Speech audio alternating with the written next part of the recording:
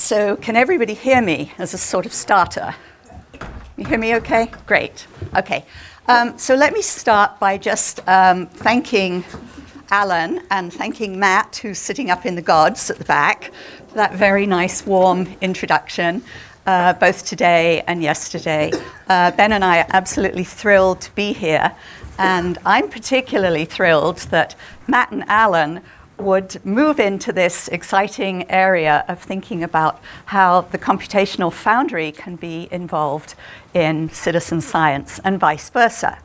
And I think, as Matt said this morning, there is a tremendous amount of opportunity for people who are coming more perhaps from the computational side as well as from the science side because increasingly over a number of years, although scientists have been using uh, very elaborate uh, sensing systems, more recently drones, and a lot of other things, um, much citizen science is, of course, also done with these devices.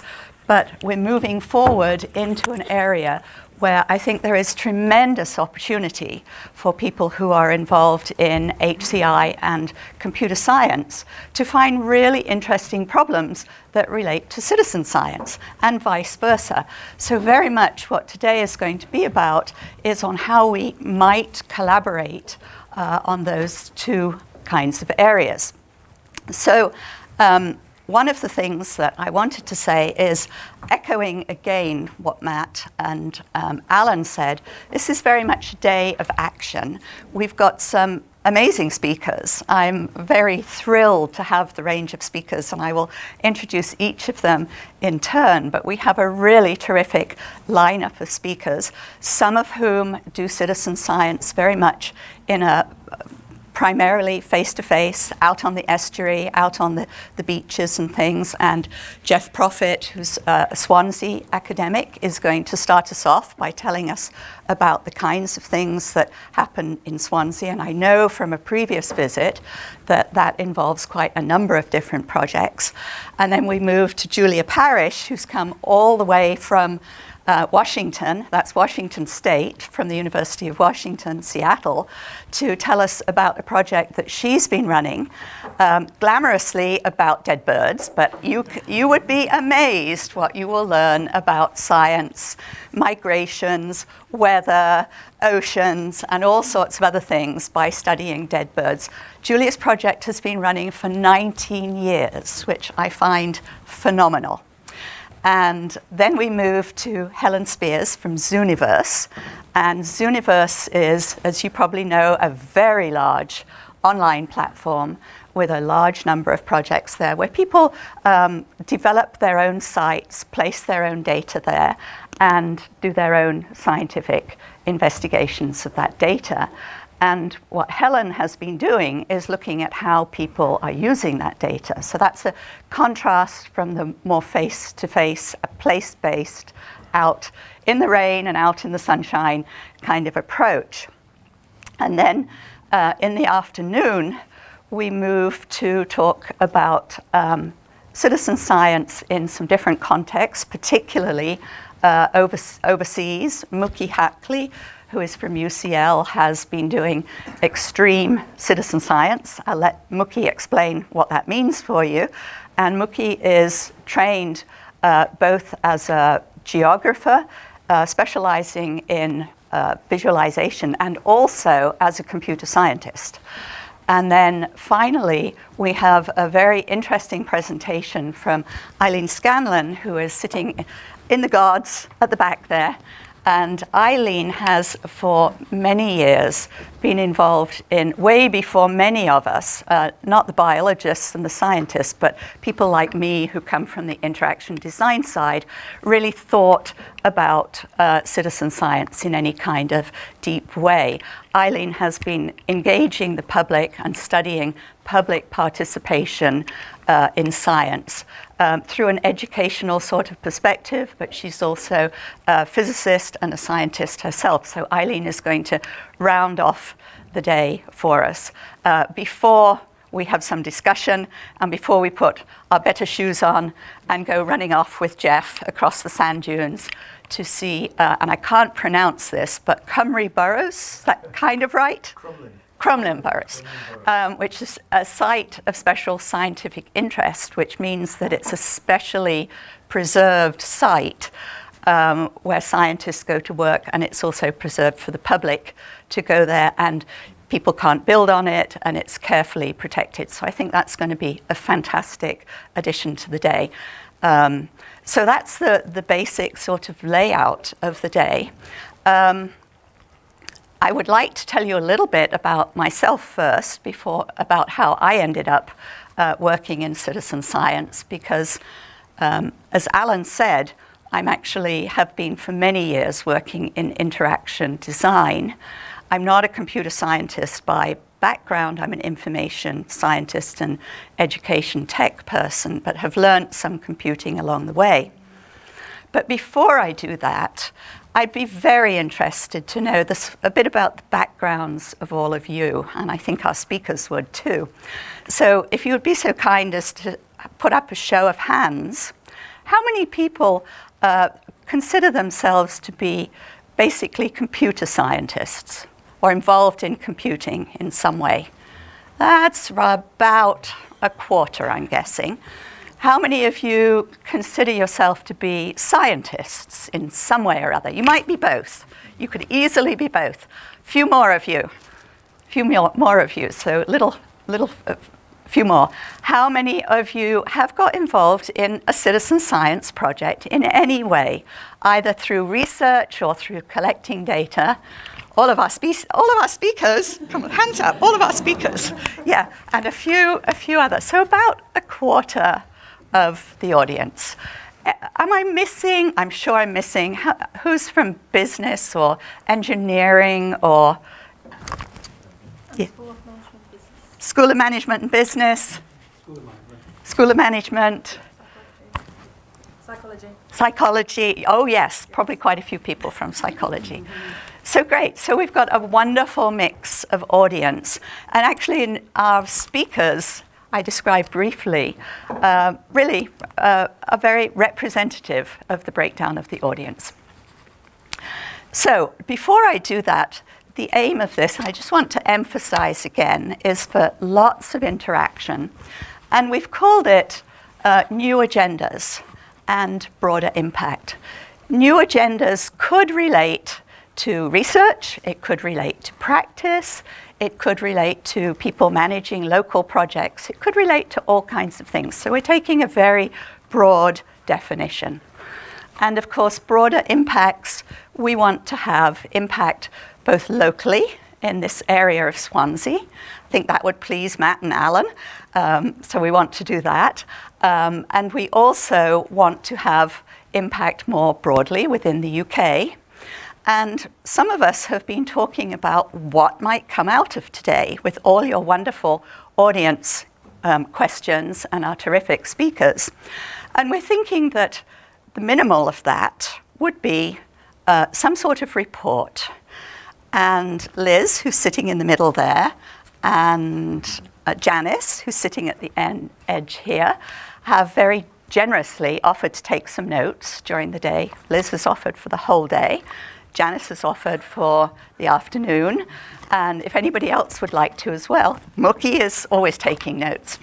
so um, at the end of the day, we will have a set of notes of new agendas and broader impacts.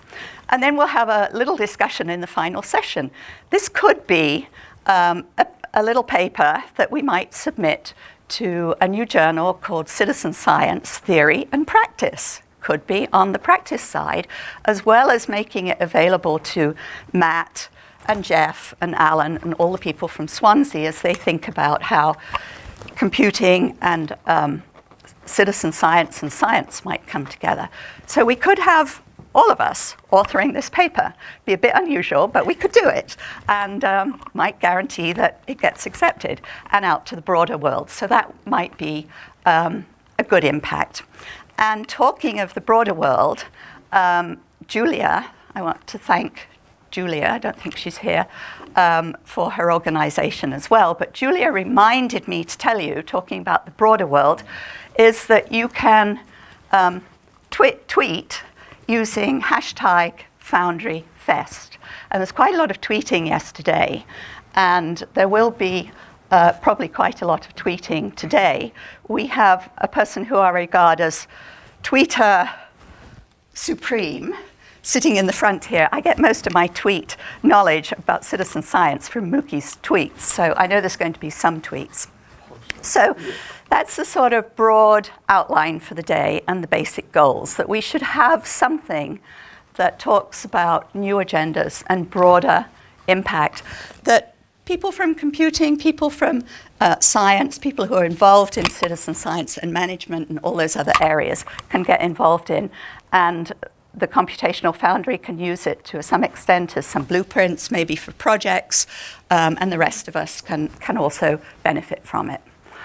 So my name is Jennifer Preece. I'm from the University of Maryland, and as Alan said, I've been involved in human computer interaction for a number of years now. Um, and so you might think, well, how did I get involved in citizen science? And there's two answers to that.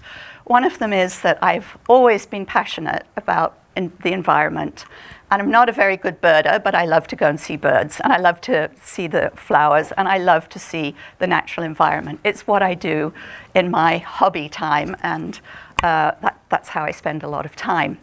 And so when the National Science Foundation, which is kind of equivalent to the British USPC, UR E- ERPC, ERPC, thank you, put out a call in about 2008, 2010 for social computing, I went, aha, that could be a citizen science project. So that really launched my first um, funded citizen science project. Um, of course, Julia and many, many others have been involved as biologists uh, and scientists in citizen science for many years.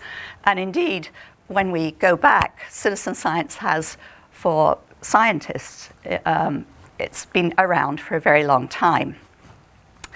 So that was my first sort of involvement with it. Um, and what I would like to do is just give a few very broad definitions, tell you a tiny bit about my work, and then hand over to the other speakers that we've brought in who've got amazing stories to tell. So, citizen science was in about 2009, as far as I was concerned, as a information scientist, um, interaction design person coming into it, not from the scientist point of view, was defined more or less in parallel by Rick Bonney from Cornell Lab of Ornithology and Jonathan Silvertown, who at that time was at the Open University, now Edinburgh. And the, it was defined as a partnership between scientists and volunteers to collect and analyze data. Since that time, I think the definition has shifted hugely to involve citizens much, much more in the, the whole scientific project. So now we think of citizen science as being involving participants right from the kind of conception of what the scientific problem is that they want to solve, right through to the collecting the data, the analyzing the data, the reporting the data, and communicating the data more broadly. So we have a much broader definition. And that definition, for those who are interested, is, is available from a paper from Jennifer Shirk and Rick Bonney, probably others have written this too, in 2015 that gives a nice broader definition. Now that's important because that's a way of involving our participants much more deeply in the, the kind of enterprise of the science. So I was out on the beach yesterday with Julia and Ben, and there's a group of people out there, and they're obviously doing things. They're constructing or putting a fence up, and you can see there's a group of people, somebody who's organizing it, and you can see at the edge here, there's a bank with grass on. I don't know if it's marram or spartina. Marram, I'm getting a nod. Um, so it's marram grass, and the intention is to, you know, build out more from here to a protection, at least we assume that's the intention. But the important thing is that it's a group of people and they're out there and they're doing something active. And that was just yesterday. And you can walk out tomorrow or you can walk out this evening and see what progress they have made. So, my work, um, I work with a, a group of, of people, and there's a most recent paper was 2019 it's involved with interaction design of what we call community driven environmental projects. So these are citizen science projects. Uh, it's funded by the National Science Foundation, four year project. And we were primarily interested in how do you design the technology using mostly these cell phones, um, websites, e- uh, easily available technologies for doing small local projects. And I'm going to give you some examples of some bigger projects afterwards. But these are small, very locally place based projects um, along the Anacostia River, uh, which runs on the eastern side of uh, Maryland and um, Washington, D.C. And it's a very heavily polluted river. And people tend to be very involved in their own little area of that river. So, assuming I can get the video to work okay, uh, I'm going to let the video speak for me.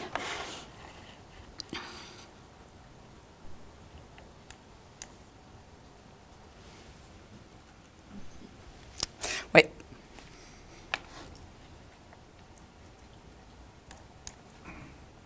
Aha. and importance of nature that surrounds us. This project is centered around understanding what happens when we start paying closer attention to plants and animals, waterways, parks, and backyards. Researchers at the University of Maryland, the University of North Carolina, Charlotte, and the University of Colorado are working with community partners at two local nature centers, the Anacostia Watershed Society and the Reedy Creek Nature Center, to develop technology to support a deeper understanding of and more engagement with local environments. The tool we are developing is called NatureNet. It helps communities carry out projects in their own local environment. In Maryland and the District of Columbia, volunteer watershed stewards learn about improving the health of the Anacostia River by creating projects to manage stormwater runoff. NatureNet helps them map, capture, and share information about their projects with each other and the public. At Reedy Creek Nature Center in Charlotte, North Carolina, naturalists develop projects that will help park visitors to use their mobile phones to collect data to understand more about nature in the park. Visitors can come in from the trails to see their observations and those from other visitors on a large interactive screen at the kiosk. We are now studying the impact of NatureNet on people's knowledge of local environmental issues and actions. Their understanding of science in their everyday lives, their sense of connection with nature, and their scientific, computational, and technology skills. Are you interested in joining forces with others in your community to better understand and protect local places? Then NatureNet may be the tool you need. What is NatureNet? NatureNet is designed to evolve in response to users who recommend new projects and technology improvements through the Design Ideas feature. We think this is a first, crowdsourcing to guide the evolution of a location-based citizen science platform. And now, we're encouraging its adoption and adaptation in many other outdoor settings, from parks, environmental stewardship programs, to your own backyard. Here's how you can get started. Participants in NatureNet can also influence the design of technology that they use by offering design ideas, which they can input via the app or website. Interested in learning more about the impact of NatureNet? You can read more on our website, download the apps, or check out our research website, research.nature-net.org, where you can track the use of our system through real-time visualizations. And follow our project on social media. We hope that NatureNet will expand and support data collection and communication around environmental issues that matter to you and your neighborhood. Help make a difference in your local environment. Contribute your nature observations to NatureNet today.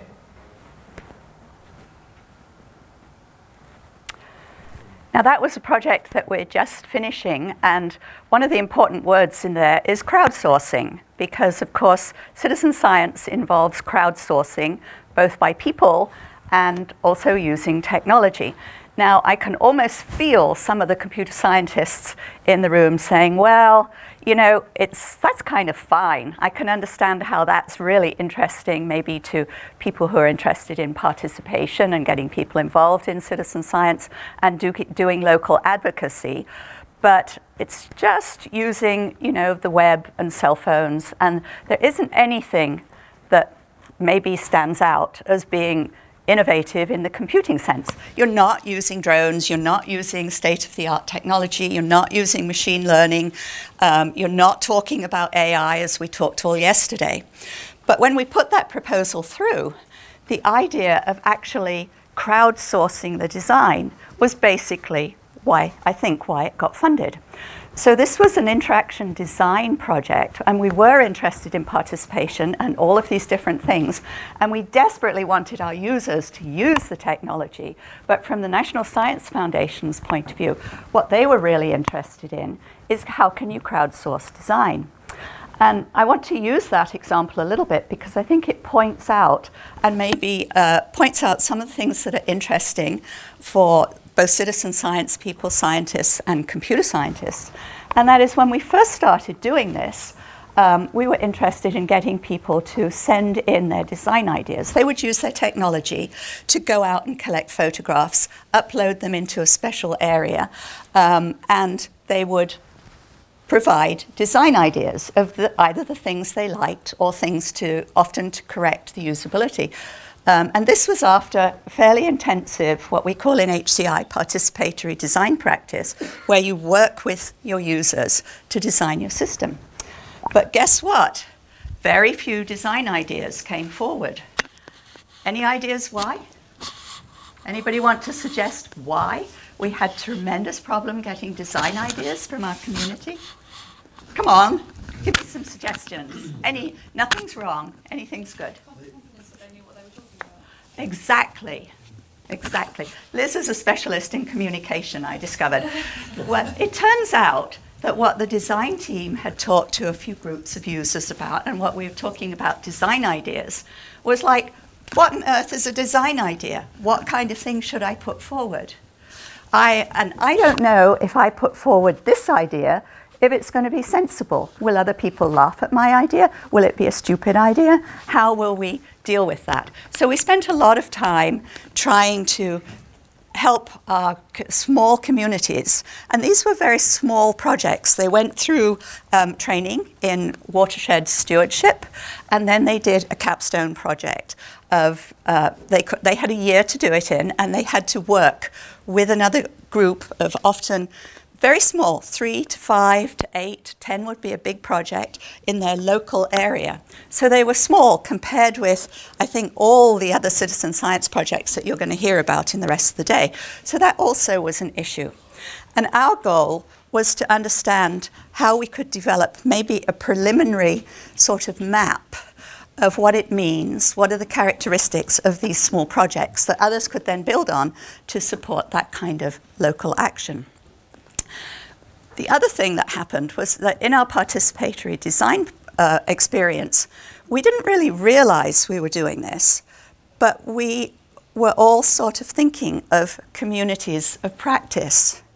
Now, the emphasis there is on the word practice. And what we realized after talking to people and also reading more of the theory, and yes, theory is useful in these projects that seem very pragmatic, was that actually what people were most interested in, they didn't think of themselves as doing practice. What they thought of themselves as doing was working with others and communicating. And so we were lucky that a colleague that was on the video, Tammy Clegg, is based in education. And she said, Well, what about Gee's work, which is very much about sort of semiotic communication and affinity, affinity networks of people, affinity networks of ideas. And what that suggested to us was that we needed software that was much more open, less sort of structured as it would be for practice, if the practice is primarily, you know, to submit um, photographs, submit uh, comments, help other people to do their designs. What so what we really needed to do was open it out and focus much more on the communication and the sort of affinity. uh, of people's ideas and of working together. The other thing we discovered was just the importance of local leadership and how local leadership can really change as a project develops and needs to be fluent. You know, you have some people who can put up spreadsheets, you have other people who know about design, who are good with technology, um, and it changes. And so we had a few wonderful stories. One involved a person who, I'm not using his correct name, called Tim the plumber. And Tim the plumber was really quite a character. Tim worked in a local community centre. He brought in a few hundred plumbers each year for about five years and they worked partly and they trained. And Tim was phenomenally insightful because he realized that in this area of Maryland, this poorer area of Maryland, that there seemed to be more really heavy rainfall. And when that heavy rainfall happened, all the junk from the street, including McDonald's, you know, cartons and Burger King cartons, and as well as, you know, nitrates and the salt put down, it was all going into the river. So he reconceptualized what training for, for plumbing involved. And one of the things that he did was he, he got his plumbing cadets, plumbing students, involved in citizen science. So that led to a few interesting weekends where the whole team went out and got involved in handing out rain barrels, not just handing them out, but also learning and being able to demonstrate how you link up your rain barrel and how you cut pipe and all of those sorts of things. So we realized the importance of local leadership and also the importance of allowing people to sort of shift their skills and recognize each other's skills. Another example was with my colleague there who um, gets very involved in, the, uh, in a church where there's a large number of African Americans. They know her, they trust her, and they, they did various education projects with her. So, those were some of the things that we learned from our experience in, in that project. And as I say, if you're interested in reading more, I can give you the paper. But I just want to move on very quickly before our other speakers start, just to give you a tiny bit of background, because that's a very small project, and it ran just over four years. One, a project that you may know about is this one from Cornell Lab of Ornithology. It's one of the most famous, apart from the ones in our speakers, of course. Um, and it's been running from about 2002. And for those of you in the computer science side as well as the uh, citizen science side, you will find amazing data visualizations there, where you can look at the, you can look at bird migrations, particular species over a year, over several years. You can look at you know diagrams of um, contributions. There is a huge amount of very interesting computer science in that, and there's also machine vision uh, which has been added recently. So if you can get a picture of a bird, even though it may be occluded with leaves and, and um, branches, um, you stand a good chance of getting some help in the um, identification of that bird.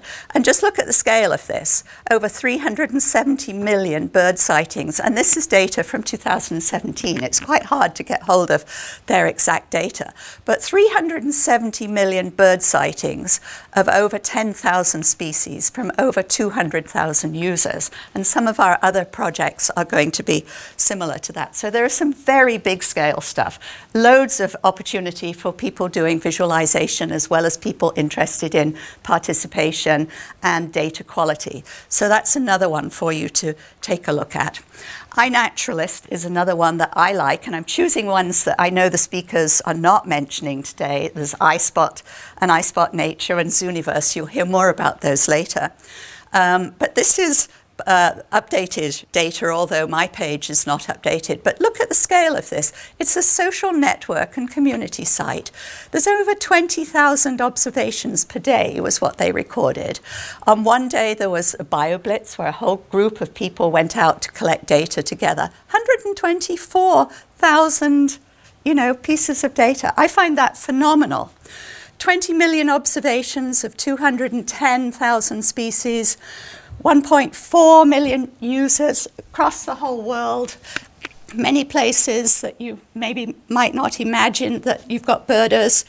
Um, and they're aiming for 50 million observations by 2020. Not sure exactly how they're getting on, but it's, it's pretty phenomenal. And there are hundreds and thousands of different citizen science projects. So if I'm mentioning stuff that you think, well, I'm not a birder, I'm a plant person, there's lots for you. There is, um, you can look up SciStarter. There are over a thousand different projects on SciStarter that if you want to, you can get involved in, in a very wide range of things. I'm talking mostly about biodiversity, but I mean, there are things on medical, there are things uh, to do with citizen uh, uh, conservation, there are things to do with climate change, plants, the weather, all kinds of different things, huge range. And for those who are would like to also get involved in a, it's not clicking. Ah, there, whoops, sorry, sorry about that. Um, there is also wildlabs.net. And if you can read this, I'll just read it to you. Wildlabs.net is a community of conservationists, technologists, engineers, data scientists, entrepreneurs, and change makers. That sounds like it's talking to you, this audience. Um, Together, we share information, ideas, tools, and resources to discover and implement technology enabled solutions to some of the biggest conservation challenges facing our planet. And we've got some pretty big ones coming in terms of climate change and habitat loss. So, major issues, I think, for citizen science, and these are two that are very well known. Um, for scientists, getting enough data and getting trusted data. And I suspect some of our other speakers are going to talk, talk about how data is, can be checked to make sure it's trustworthy. Um, I was kind of both heartened and a little bit um, shocked at this. A few people have the ability to contribute. The vast majority simply act as potential locations for sensor development. This author was act, that actually was said to, to, this author in 2017. It was reported from a, a large European project.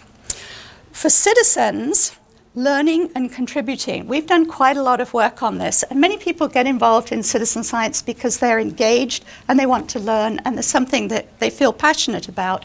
But they then want to move through and become real partners and to become, um, you know, a partner in this scientific endeavor. And this is a paper that one of my ex students wrote. And we could also think what are the major issues for computer science? And just from talking to Alan and Matt at various times, a major issue for a computer scientist being involved is is there something that's really interesting in computer science from the research point of view that we can actually make a contribution to that's not just programming an app or not just programming the web, but is actually really creative? Um, and this could involve, yesterday we talked a lot about ethics and privacy. There are big privacy issues, particularly for place based citizen science, but also for your online data and many more. So there's a, there's a lot that computer scientists can, with uh, scientists and citizen scientists, contribute to. So some of the things that we might think about during the day, some very broad categories are people. How do we diversify and involve more people? And this has been a big issue for NSF and for everybody in citizen science. Data quality, I've already talked about, and I'm not going to elaborate on these because you guys are going to fill in some of the details as you hear from the speakers and you make notes about them. But some broad categories might be people, data quality, project management, that maybe the business groups would get involved in that. Technology and tools is an obvious one for computer science, values and ethics, a lot of discussion yesterday about this, and driving through, you know, what we find out in terms of values and ethics into policies that have some real bite in uh, different countries and parts of the world. So, two of my personal broader impacts that I would personally love to see is to leverage the skills of HCI, uh, taking that broadly, computer science in general, and citizen science specialists to advance both fields, to be something that is really great for both. And to help to use our skills to mitigate the effects of climate change and habitat loss. There's a huge amount, and I think many, uh, many of us now are really convinced by the science of climate change, the fact that we are told we're in the fifth or sixth, is it sixth extinction period where there's huge habitat loss. So there's really a lot that we can do.